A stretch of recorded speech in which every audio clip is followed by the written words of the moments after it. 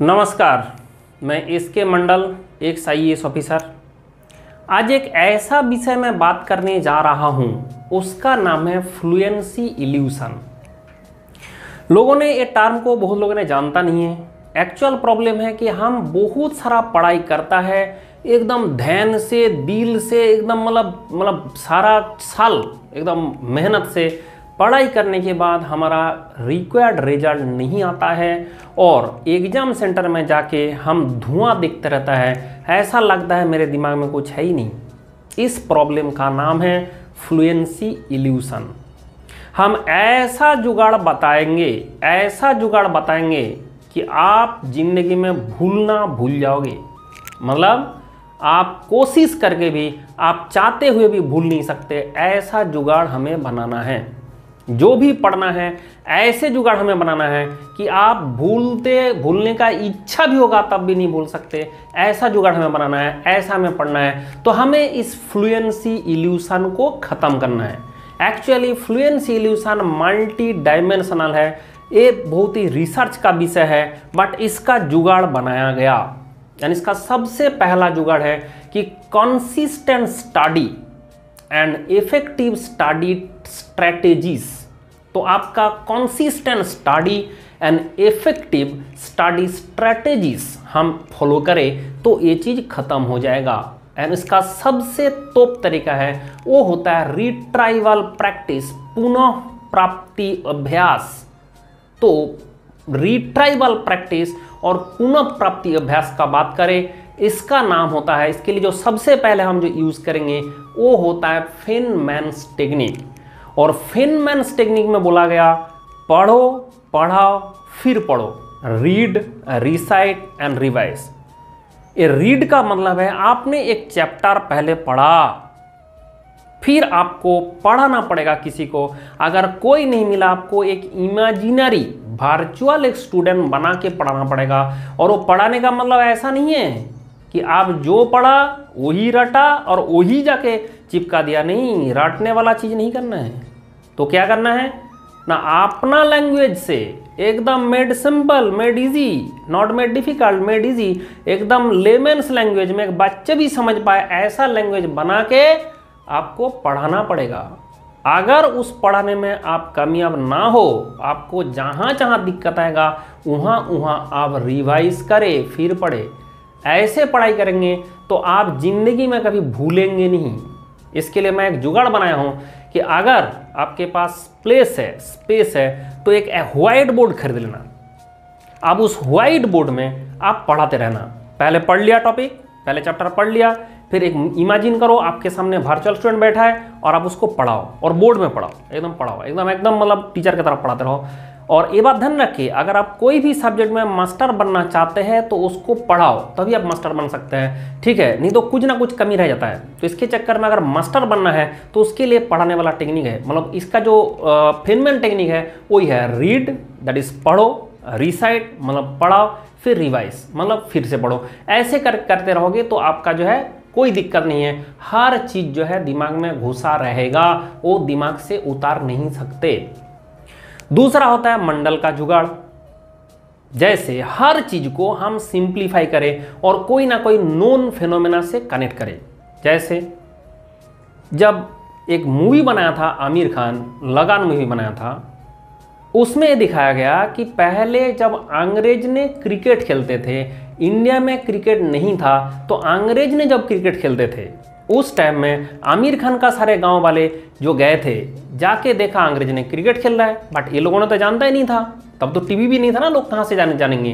तो जाके देखा ऐसे कुछ खेल रहा है, कुछ एक चीज़ से मार रहा है, कुछ बॉलर है, मार रहा है, ऐसी चीज़ें। तो आमिर खान ने बोला, ये गोली डंडा की तरह है। वो है वो है एनालॉजी मतलब वो एक बैट है एक बॉल है बट वो बोलता नहीं हम तो ऐसे देखा नहीं कभी। तो ठीक है कोई बात नहीं देखा नहीं। तो ये गोली डंडा तो देखे वो सेम तरीका है उसी तरीका से उसको मारा जा रहा है। बट यही होता है एनालॉजी ऐसे एनालॉजी आपको हर चीज़ में बैठाना पड़ेगा नॉन चीज़ से अननोन चीज़ को कनेक्ट करना पड़ेगा। फिर ऐसा ऐसा एनालॉजी हम बैठाएँगे जैसे आप बताओ जो आ, जो मुगल एम्पायर थे उसका जो है सीक्वेंस बताओ। तब जानते हो स्कूल में, कॉलेज में जो लोग पढ़े हो, वो लोगों ने एक टर्म यूज़ करता है, भाजसा। भाजपा नहीं है, भाजसा। तो उसमें जो भाजसा है, उसमें क्या क्या है? ना बाबर हुमायूं अकबर और जहांगीर, शाहजहां एंड औरंगज़ेब। इतना तक आपने स्कूल में पढ़ोगे, कॉलेज में पढ़ोगे, इतना सब का काम चल जाएगा। लेकिन अगर आप कॉम्पिटेटिव कॉम्पिटेटिव एग्ज़ाम देने जाओगे तो ये दो चार नाम से बात नहीं बनेगा। बोलेगा सीधा एकदम बाबर से शुरू करके जो आपका लास्ट मुगल एम्पर था, बहादुर शाह टू, वहाँ तक आप बताओ। तब जाके इसका भी जुगाड़ बनाना पड़ता पड़ा। एंड उसका जुगाड़ है भाजी सब्ज़ी फर माँ साहब। अगर आप देखो, इसमें जितना भी स्मॉल लेटर में है, वो एक है। जैसे जे आई है, वो एक है फॉर है, एक है। तो इसमें जो बी है बी मतलब क्या है? बाबर। एच मतलब क्या है? हुमैन। ए मतलब क्या है? अकबर। जे मतलब क्या है? जहांगीर। एस मतलब क्या है? शाहजहां ए मतलब क्या है? औरंगज़ेब। बी मतलब क्या है? बहादुर शाह। जी मतलब क्या है? Jahangir that is Jahandar Shah. For यहाँ पे फॉर का ए फॉर देखो आपका स्मॉल लेटर में है ना? इसलिए ए मतलब फारूक शाह होगा इसमें। माँ। एम होता है मोहम्मद शाह। होता है अहमद शाह। उसके बाद ये जो होता है आलमगीर टू उसके बाद आता है एस साहब का एस मतलब शाह आलम टू फिर ए होता है अकबर टू फिर बी होता है बहादुर शाह टू तो ऐसे करके आप रटोगे तो आप ज़िंदगी में भूल ही नहीं सकते, आप प्रयास भी करोगे नहीं भूल सकते. तो ऐसे ऐसे जुगाड़ लगाना पड़ता है, जुगाड़. इसी का नाम होता है जुगाड़, मंडल का जुगाड़.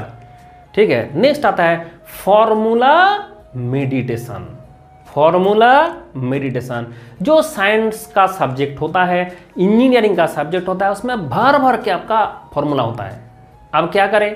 शाम को ये जो आपका बैठने का तरीका होगा एग्जैक्टली exactly जैसे आपने ध्यान में बैठे हो, फिर उसके बाद उसके बाद आप सुबह से शाम तक क्या क्या फॉर्मूला पढ़ा, एकदम आँख बंद करके बैठ के उस सारा फॉर्मूला आप याद करें। और जैसे ही याद करने जाओगे, बहुत सारे आपको देखोगे धुआँ धुआँ दिखेगा।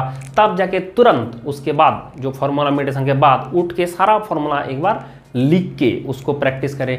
नहीं तो आज ही अगर भूल गए शाम तक तो आप एग्ज़ाम सेंटर तक कहाँ से याद रखोगे? तो इसके लिए बात ध्यान रखें फॉर्मूला मेडिटेशन एक मेथड है। फिर आता है आपका प्रैक्टिस टेस्ट एक बेंगल में बहुत बड़ा कहावत है, एके गुनगुन, दुए पाठ, तीने गंडगोल, चारे हाट अगर एक आदमी पढ़ता है तो गुनगुनाता रहता है, पढ़ाई ढंग से होता नहीं है। दो अगर साथ साथ पढ़े तो आपका बहुत अच्छे से पढ़ाई होगा। तीन होगा तो सिर्फ़ गुलमाल होता रहेगा। और चार होगा तो वो एक मार्केट प्लेस बन जाएगा। वो ऐसा गड़बड़ जगह बन जाएगा, सिर्फ़ झगड़ता ही रहेगा। तो इसके केस में चार से भी नहीं होता। मतलब ज़्यादा लोगों से ग्रुप बना के पढ़ाई नहीं होता है। Two is the two is the optimum क्यों?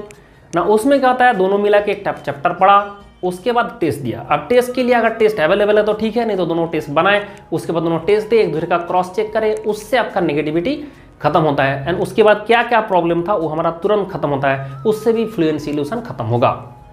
नेक्स्ट होता है आपका flash card flash card technique flash card का मतलब है ऐसे पेपर लिया, पेपर का एक तरफ़ में क्वेश्चन लिखा, उल्टा साइड में आंसर लिखे डायरेक्टली क्वेश्चन के नीचे आंसर ना लिखे। इस टेक्निक से भी आपका फ़ायदा होगा। तो इसलिए आपने देखा होगा कि हर चीज़ में आपने क्वेश्चन लिख तो उसके नीचे आंसर लिख लेते हो।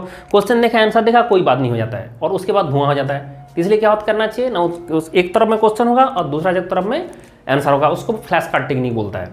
नेक्स्ट होता है copy copy cover and check copy cover मतलब है, जैसे आपने एक टॉपिक पढ़ रहे हो, एक आपने स्टेंजा पढ़ा।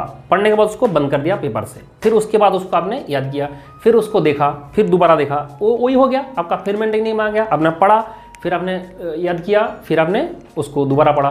तो इस तरह से भी आपका जो है, उसको बोलता है copy cover check technique next आपने देखा होगा कि बहुत सारे आपने हाईलाइट करते हो, ठीक है? हाईलाइटर से हाईलाइट करते हो अंडरलाइन करते हो सामारी बनाते हो जीस बनाते हो, इससे भी आपका जो है फ्लुएंसी कम होता है। ठीक है? कभी कभी आपने शॉर्ट नोट भी बनाते हो। सबसे बड़ा टेक्निक है कि आप जो भी पढ़े ओनली वन थिंग पढ़े। जो भी पढ़े ओनली वन थिंग पढ़े। आपने कभी दो किताब लेके पढ़ने बैठ जाना, एक चीज़ भी दिमाग में नहीं घुसेगा। आप दोनों का कंपेयर कर करके पगला जाओगे। इसलिए इकट्ठा दो किताब कभी कोई नहीं पढ़ सकता। और पढ़ेगा तो एक बात भी दिमाग में घुसेगा नहीं। इसलिए आपको पूरा सेमिस्टर के लिए, पूरा ईयर के लिए, जो भी आपका टॉपिक है, उसका एक ही किताब पढ़ना है। अगर किताब अवेलेबल नहीं है इसका, आपका स्टैंडर्ड का तो आप अपना नोट बनाओ।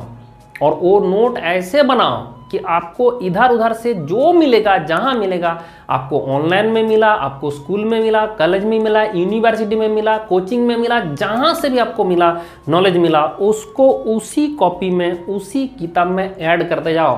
किताब में भी पेज एडिशन होता है, कि कॉपी में भी पेज एडिशन होता है, और बीच बीच में आपका हाईलाइटर वाला पेज लगा के भी हम एडिशन करते हैं। क्यों? ना, वो अगर सीक्वेंस में लिखा रहेगा, वो आपका दिमाग में भी सीक्वेंस में भरा रहेगा, वो ज़िंदगी में भूलना बहुत मुश्किल होगा।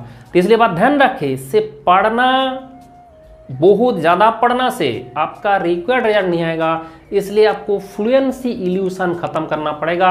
और जो जो जुगाड़ मैंने बताया ये सारा जुगाड़ आपको इस्तेमाल करना है।